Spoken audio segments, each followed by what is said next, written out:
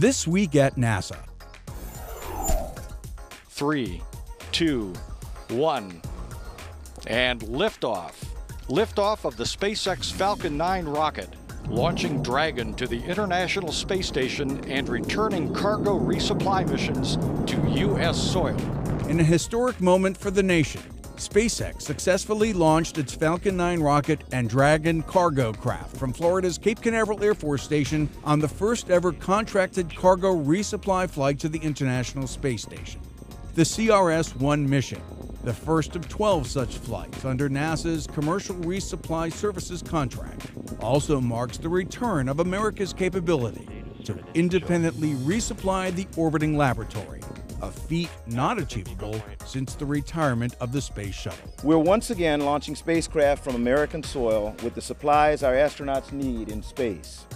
The SpaceX launch tonight marks the official start of commercial resupply missions by American companies operating out of U.S. spaceports like the one right here in Florida. While NASA is working with SpaceX and other U.S. industry partners to develop commercial spaceflight capabilities, the agency is also developing the Orion spacecraft and the Space Launch System, SLS, a crew capsule and heavy lift rocket to provide an entirely new capability for human exploration. The SLS and Orion will expand human presence beyond low Earth orbit and enable new missions of exploration across the solar system. Discussing the Dragon mission via a Google Plus Hangout were NASA Administrator Charlie Bolden and SpaceX CEO Elon Musk. Those who participated in the online video chat could also pose questions through Twitter and Facebook. I think we've got 23 student experiments. That's special. Uh, you know, some yeah. of them are making repeat flights, and um, you know, it, it's SpaceX meeting an obligation to students that where we didn't we didn't get around to, to doing all of them the first time. One of those science investigations going up to station on Dragon, named Micro 6, will look at the effects of microgravity on a yeast our bodies use to stay healthy. But when our immune systems are stressed, Candida albicans can grow out of control and produce infections in the mouth, throat, intestines, and elsewhere. By comparing cells grown in microgravity to cells grown in normal gravity, researchers hope to learn how to better manage and treat the runaway microbes. Another important milestone in NASA's partnership with industry to deliver cargo to the International Space Station has been reached at the Wallops Flight Facility. A test version of Orbital Sciences Corporation's Antares rocket rolled out to the Mid Atlantic Regional Spaceport's Launchpad 0A. Antares will carry Orbital's Cygnus cargo module to the ISS. A hot fire test of Antares' first stage is slated for later this year, to be followed first by an Antares test launch, then a demonstration flight of an Antares and Cygnus to the orbiting lab. Hi, my name is Daniel Limonadi. I'm the Surface Sampling and Science Phase Lead, and this is your Mars Curiosity rover update. Curiosity is still heading to Glen Glenelg. We've just stopped at the Bathurst Rock Formation to check it out with the robotic arm-mounted instruments, a hand lens imager and a spectrometer. Um, got some great science data there for the science team. And now we're moving to a new location called Rocknest. And we've come to Rocknest because it has nice wind-blown sand drifts. At the Rocknest location, we really are entering a new phase in Mars exploration with Curiosity. Um, we're starting the surface sampling part of the mission. The reason this is a one-ton rover with 200-pound robotic arm is because we have these tools to acquire bits of Mars, you know, either with a scoop or with a drill, process those samples for our very sensitive analytical lab instruments. So our scoop this is not a giant backhoe on Mars. We basically have more like an oversized tablespoon attached to the end of the arm, and we grab on the order of 20 grams of material, and we position the arm over the, the soil target, and then we just actuate the, the scoop, do a little bit of vibration to kind of level out the sample, and then raise the arm up, close the scoop, and carry on with our sampling activity. Over the next two to three weeks, we'll be doing these scooping and sample analysis activities. And then uh, from there, we expect to spend a few more weeks driving over to the Glenelg area proper, doing scratch and sift science along the way with a robotic arm. And once we get to Glenelg, we'll look forward to some exciting first-time drilling activities. This has been your Mars Curiosity rover update. Check back for more reports. October is National Cybersecurity Awareness Month, and the Chief Information Officer's IT Security Division at NASA headquarters hosted a symposium to stress for employees the importance of cybersecurity in our everyday lives. Not only uh, is it such a special thing to be NASA, but we actually do have access uh, to technologies and information that people who do not mean us well would love to get. The sophistication of attacks continue to increase every day. NASA employees must be aware of these types of attacks in order to protect and safeguard our information. To protect the agency's IT infrastructure, NASA workers are reminded to stop and think before they connect online. Several centers are conducting similar activities this month to raise cybersecurity awareness.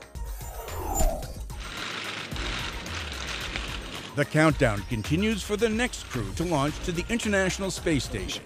Expedition 3334 Soyuz commander Oleg Novitsky of the Russian Federal Space Agency, NASA flight engineer Kevin Ford, and Russian flight engineer Evgeny Tarelkin are scheduled to ride a Soyuz spacecraft to the ISS mid month. There, they'll join Expedition 33 commander Suni Williams of NASA, flight engineer Aki Hoshide of the Japan Aerospace Exploration Agency, and Russian flight engineer Yuri Malenchenko aboard the world's only science lab in microgravity. Employees helping shape the future of their center and NASA. That was the theme of the Kennedy Space Center's first Innovation Expo. The day long event to promote worker innovation and creativity featured examples of workplace improvements by employees, pitch sessions for new ideas, and tours of laboratories and other KSC facilities not usually open to the general workforce. Innovation Expo underscored for Kennedy's workforce that it is the center's prime source of ingenuity. Wait till 5K, then close the door. The mirror on NASA's Stratospheric Observatory for Infrared Astronomy was cleaned recently in preparation for the first full cycle of science observations. Because of the sensitive exposed optics, the telescope cavity of the heavily modified 747 is designed to serve as a clean room. However, contamination of the optics builds up over time. Thus, while the aircraft and its systems were upgraded at NASA's Dryden Aircraft Operations Facility in Palmdale, California, telescope technicians used water, a mild detergent, and a small filtered blower to remove dust and other material that had adhered to the mirror's surface. This is in preparation for the next astronomy observation period, known as Cycle 1, which will begin in late 2012 and continue through December 2013. The Enterprise Service Desk at the NASA Shared Services Center is now fully operational and supporting employees across the agency in human resources, finance, procurement, and IT. We have self-service tools available and also IT call agents available 24 hours a day for the NASA employee to submit service requests for the NASA IT services such as computing seats, mobile devices, printers, uh, firewall rules, static IP addresses, and even bundled services. For more about ESD services and the NSSC, log on to www.nssc.nasa.gov. The Langley Research Center celebrated its 95th anniversary by hosting some 10,000 guests at its first open house in five years. When you grow up, huh? Visitors can meet the first mom in space, astronaut Anna Fisher. Thank you. Talk with researchers about their projects. Astronauts go out these for a two-week period. And take a tour of facilities like the center's aircraft hangar. The day's highlight, watching the 18,000 pound Orion spacecraft test article drop 25 feet into Langley's hydro impact basin. Two, one, release.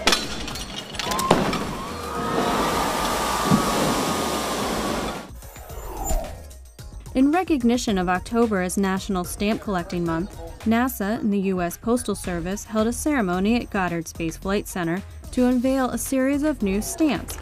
The 15 new Earthscape Forever stamps depict America's diverse landscapes as seen from aerial and satellite perspectives.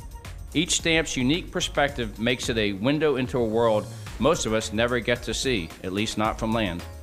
Two of the images, Volcanic Crater and Center Pivot Irrigation, were captured by NASA and the U.S. Geological Survey's Landsat 7 satellite.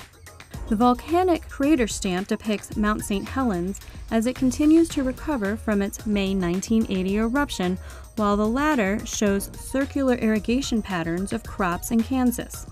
Goddard Space Flight Center launched the first weather satellite, TIROS 1, almost 50 years ago. So we started looking at the Earth many, many years ago. Using global imagery to understand how the Earth changes through time and the implications of those changes is a major focus for NASA's Earth Science Program. The next Landsat satellite, the Landsat Data Continuity Mission, is scheduled to launch in February 2013. Start. Two. One. Booster ignition and liftoff of the space shuttle. Ten years ago, on October 7, 2002, Space Shuttle Atlantis launched from the Kennedy Space Center on STS 112, the 15th shuttle flight to the International Space Station. STS 112 was the first shuttle flight to provide views of the launch from a camera mounted on the external tank. Atlantis's crew, Commander Jeff Ashby, pilot Pam Melroy, and mission specialist Sandy Magnus, Piers Sellers, David Wolf, and Fyodor Yurchikhin continued construction of the ISS by delivering the third segment of the station's 11 piece truss. The crew also transferred cargo and used the shuttle's thruster jets to raise the station's orbit. And October 5th is the 130th anniversary of the birth of Dr. Robert Hutchings Goddard, the father of modern rocket propulsion. Goddard is credited with creating and building the world's first liquid fueled rocket, which he successfully launched on March 16, 1926, from a field in Auburn, Massachusetts. Goddard and his team launched 34 rockets between 1926 and 1941. Named for the noted scientist and rocketeer is NASA's Goddard Space Flight Center in Greenbelt, Maryland.